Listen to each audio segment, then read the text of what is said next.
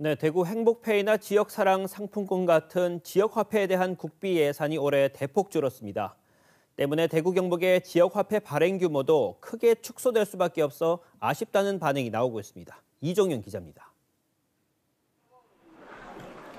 대구 행복페이를 충전하려는 어르신들로 은행 창구가 북적입니다. 지원금 소진으로 지난해 9월 발행이 중단된 지 넉 달여 만에 판매가 재개된 겁니다.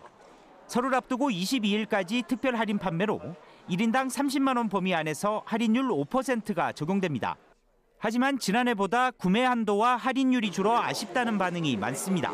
보통 병원에 갈 때, 뭐 땅카드 써도 써야 되니까 좀, 좀 높여주면 좋은데 뭐 아쉽지 뭐. 뭐 여러 군데 사용하는데 이거 뭐 5분에는 뭐 너무 작아가지고 나는 좀 기다렸지만 그래도 너무 아쉽네. 올해 지역화폐 국비 지원 예산은 3,525억 원으로 지난해보다 41% 줄었습니다. 대구시는 지역화폐 할인 금액의 70%, 경상북도는 40%를 국비에 의존하고 있어 지역화폐 축소가 불가피해졌습니다.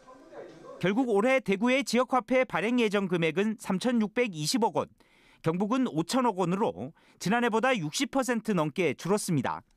할인율은 대구는 5%로 축소를, 경북은 10% 유지를 각각 검토하고 있습니다.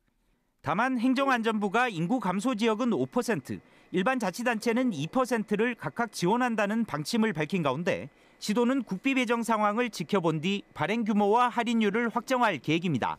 국비 규모가 절반으로 줄었기 때문에 사업량 자체가 이제 줄 수밖에 없는 상황이고요. 어, 할인율 관련해서는 아, 앞으로 저희가 상황을 어, 추이를 지켜보면서 어, 향후에 결정하도록 하겠습니다. 지역 경기 부양 효과가 크다는 주장과 선심성 예산이라는 주장이 팽팽히 맞선 끝에 결국 축소된 지역 화폐 예산. 서민들의 아쉬움은 상대적으로 더 커지고 있습니다. KBS 뉴스 이종영입니다.